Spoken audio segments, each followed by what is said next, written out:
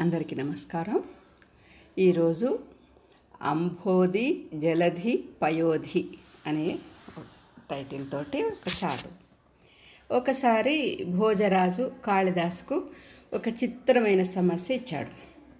సముద్రాన్ని అంబోధి అంటారు దాన్నే జలధి పయోధి ఉదధి అని కూడా అంటారు కదా. వారాంనిధి వారధి అన్న సముద్రమే అని సముద్రం అనే అర్థం. అంబోధి జలధి పయోధి ఉదధి వారాంనిధి వారధి అని ఈ ఆరు సమానార్థక పదాలు ఆఖరి పాదంగా ఇచ్చి శ్లోకాన్ని పూరించమన్నాడు. ఇది ఎలా పూరించడం?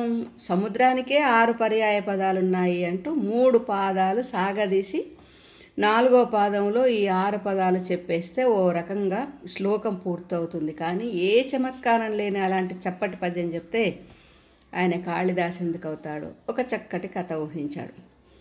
పార్వతికి కోపం వచ్చింది. ఎందుకు?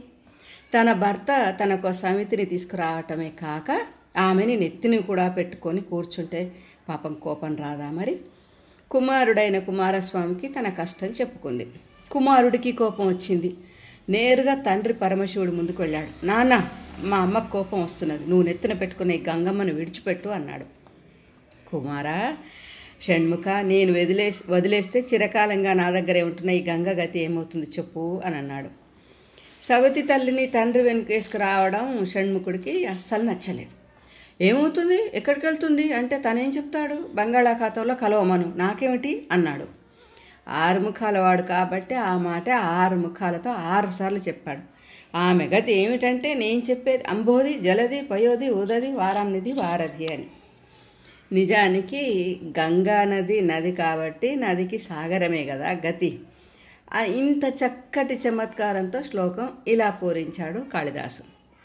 అంబా కుప్యతి తాత మూర్ధ్నిన్ విలసత్ గంగేయం ఉచ్ఛజ్యతాం విద్వన్ షణ్ముఖ కాగతి మై చిరాత్ అస్యాహ స్థితాయాహ వద.